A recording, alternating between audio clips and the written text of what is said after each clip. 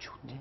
Može samo da se ovo ljeto završi pa ću onda sljedeće. Ali kad dođe ljeto onda im se ne radi. Onako ljeto to se kod nas zna. Ali, što Ali o tome smo pričali u prošlom emisiji. Mislim šta je s tim dok studiram svuda u inostranstvu. Dok ja studiram i ako ću sutra da budem lekar, ja ću da radim i e, poslove koji su plaćeni ono pola radnog vremena. Uveče perem suđe u restoranima i slično. I na taj način se izdržavam. Kod nas, čini mi se da su nas malo ili smo ih mi ušuškali u našim familiji. Ajde ti ne moraš ništa da radiš, nego samo uči i onda, će, i onda svi sanjaju o tom izvini Mašo, državnom poslu. I od nas svi se nade i svi bi kao u državnoj instituciji. A jeste, a, svi, a svi, njima je država kriva što nemaju posao, a oni biraju. Oni su završili oni fakultet i sad treba svi da dobiju državni posao. Zato što je super u državnoj instituciji, jer uzimaš bolovanje kad hoćeš, odsustvuješ koliko hoćeš, izlaziš s posla koliko hoćeš, možda ne radiš ništa. Ja definitivno ne bi e, zaboravila ni ovu grupu mladih ljudi koji grizu. Evo, mi u nevladinom sektoru možemo da ih vidimo. Stvarno ima toliko mladih ljudi koji ne da su kompetentni i ne da su proveli svoje slobodno vreme dok su studirali i bili vani kroz različite programe. Ja stalno govorim mladim ljudima, znači nemojte da mislite da je teško otići vani. Veoma je lako, evo, kroz nevladin sektor, kroz sve ostalo što se tružimo da informišemo mlade ljude. Znači može da se pođe vani, da se bude na dodatne obuke, na treninge, gdje nećete imati nikakvih troškova, sve vam je pokriveno. Samo je pitanje volje. Ali onda mi dođe mlad čovjek koji mi kaže u redu, ali mogu da idu mojih pet drugara.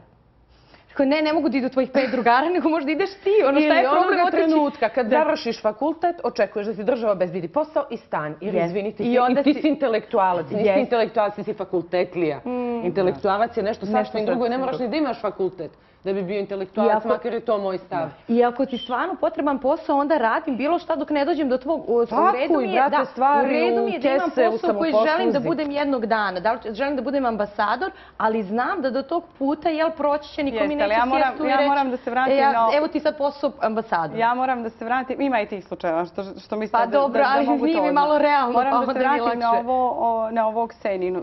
Pošto smo obje iz državne uprave, da tako kažem, isto moram da kažem da sam sigurna da znaš puno ljudi koji rade više od 8 sati dnevno. Jeste, znam da na svakih, e, znači, e, deset što ginu, 30 ne rade ništa. To je, znači, o brojkama ne mogu da govorim, e. ali ima. I sigurna sam da će se u nekoj perspektivi preduzeti određene aktivnosti koje će doprinijeti reformi E, javne uprave, pa ćemo možda za pet ili šest godina to sve ovaj drugačije organizovati. Ja se nadam za kraće od pet ili šest. Napravit ćemo malu pauzu, a nakon toga sljedeća tema je knjiga 50 nijansi siva. Još jednom dobrodošli u emisiju 100%, pogledajmo našu sljedeću temu. 50 nijansi siva je erotski roman britanski autorke James i prvi dio trilogije koja se bavi vezom između Anastasije Steele, djevojke koja je upravo završila fakultet, i Kristijana Greja, mladog biznis magnata. Roman je poznat po eksplicitno erotskim scenama koje uključuju i elemente dominacije i počinjavanja, vezivanja i disciplinovanja kao i sadomazohizma. Kritičari su ovaj rad ocijenili kao književno bezvrijedan, prepun klišeja i proglasili ga imitacijom sage Sumrak i erotikom za domaćice. Priznali su mu do duše činjenicu da je njegova seksualna politika takva da će čitateljke imati o čemu da raspravljaju godinama. I zaista rasprave su žučne, od onih koji smatraju da je ovaj roman oslobodio mnoge žene poboljšavajući njihov seksualni život, do onih koji ga optužuju da ohrabruje nasilje nad ljepšim polom. Dame, znam da ste sve tri pročitale knjigu, ja sam pročitala knjigu. Elvira, kad sam rekla ćemo pričati o ovoj, ništa ne maši rukama, kad sam rekla ćemo pričati o ovoj knjizi, Elvira rekla, jao, gdje me natjera da kupim ovu knjigu? A kad smo prošle nedelje posle emisije, pošla pijemo piće u Delta i pošla u knjižaru, gdje ćeš, Elvira, da kupim treći dio? Tako ću prvo tebe da pitam za utiske. Pa u suštini, kao što si rekla, stvarno sam prvo bila ljuta na tebe što me natjera da potrošim bez veze 10 eura. Ovaj, šta ću sad da čitam ovo i počela sam da je čitam onako u svom, pošto mi ovo baš dosta posla i svega, ja legnem uveč i čitam. Em je jezik previše onako, ne znam, sirov za mene, rečnik isto mi nije dao, onda opisi su mi onako malo kliše, gdje ću ovo? I negdje, ja mislim, na trećinu knjige me toliko uhvatila da je to bilo strašno.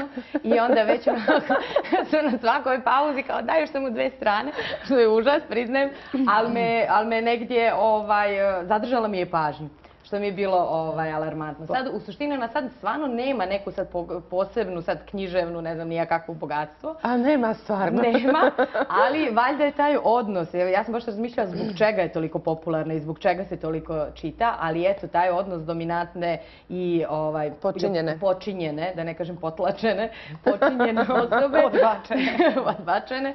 Ovaj, tu je valjda, to je nešto što je možda nepoznanica za nas dosta i onda njene ovaj, njene, e, e, to je proveravanje granica svojih, gdje ide granica bola, gdje je granica zadovoljstva, eto možda o tome nismo nikad pre čitale.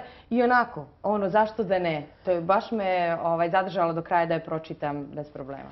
Naravno da se slažem s tom da može da nema vrednost ovako ili onako, ali ono što je za mene potpuno, što je meni interesantno, mnogo puta u životu smo u počinjenom položaju, ali nam to niko ne kaže. Niko ti ne kaže da si ti počinjenom i da je neko dominantan. Mnogi od nas žive s alkoholičarem.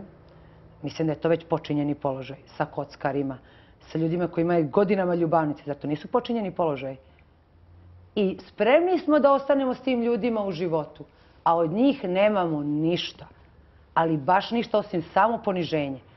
Ako ćemo da pričamo o granicama ljubavi, mislim da one stvarno ne postoje. I da što se tiče ljubavi, mnogo puta smo u životu proverili dokle nekoga volimo. Pa dođemo u sredstvo i kažemo, pa ja ne znam, eto, volim bez razloga. Nije bez razloga. Uvek postoji nešto zbog čega mi volimo i spremni smo na velike e, ustupke. Naravno, svako od nas ima svoju granicu.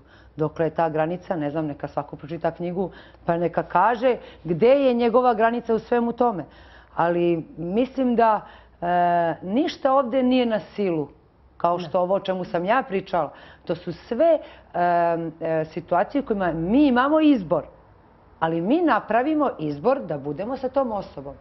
Ili da isprobamo sebe, ili je to znati želja.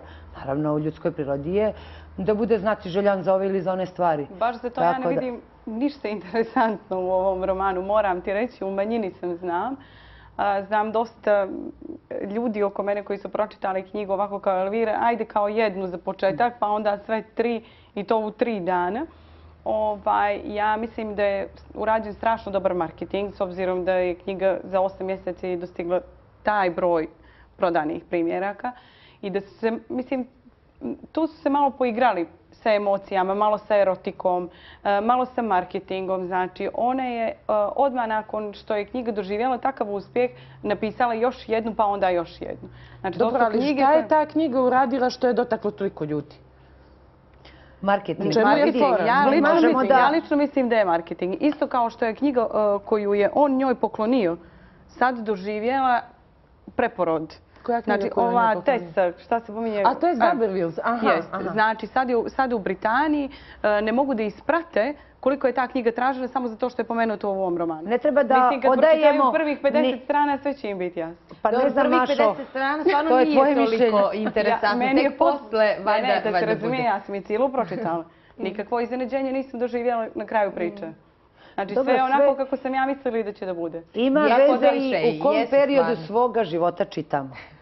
I to je mnogo važno. I koliko iskustva pre toga imamo ili posle toga. Onda ću ja da uzmem da jedno deset Pa ne kažem, kada sam čitala ovaj, Anu Karenjinu, naravno sam imala jedan stav, tada kada sam čitala kao lektiru sa 18 godina, sada kada sam čitala Anu Karenjinu, potpuno mi je drugi stav. Ali, e, jeste Govorim ti o svemu, o, klasičnim književnim dijelima. Nije važno koje je delo. Važno, važno je koliko je tvoje iskustvo kada čitaš neko delo.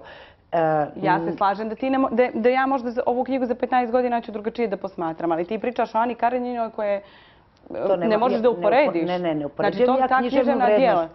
Ja upoređujem iskustvo čoveka kada pristupa delu. Da li Ani Karenjin? Nevažno, ja sam dala primjer Ani Karenjine jer mi je ona sada pala na pamet.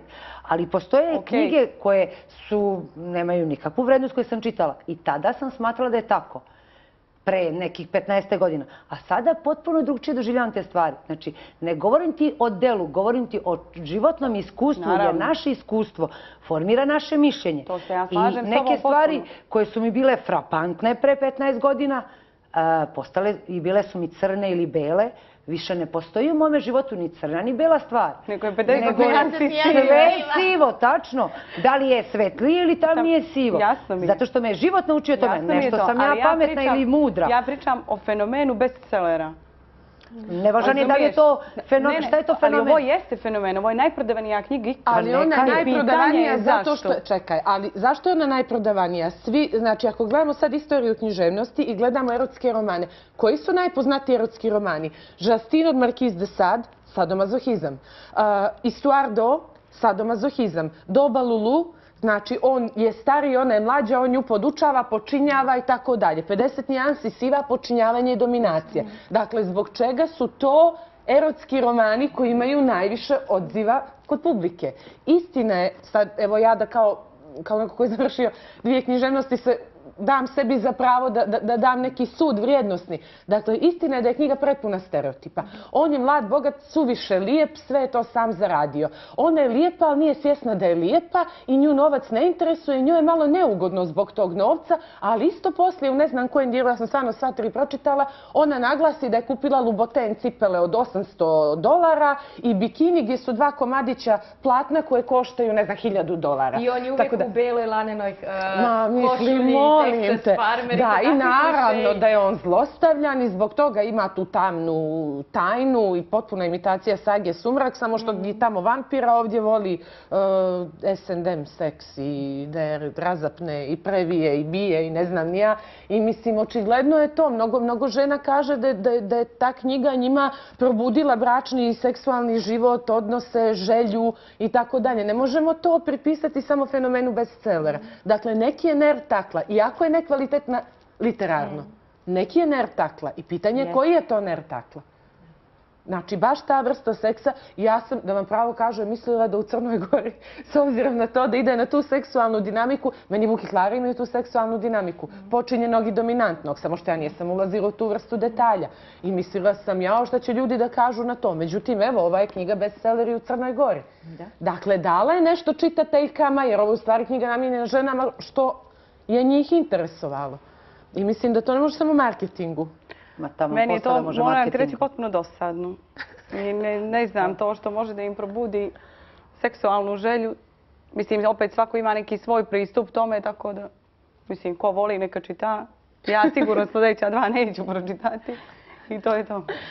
Dragi gledalci, naša sljedeća tema je jedan čudan spoj seksualnih priča i priča koje su sve samo neseksualne. To se tiče jednog bordela koji je otkriven na veoma neobičnom mjestu. Moskovska policija je otkrila da se u zgradi koja pripada Sretenskom jednog od najuglednijih manastira u Moskvi nalazi bordel pod imenom Hotel za ljubavnike.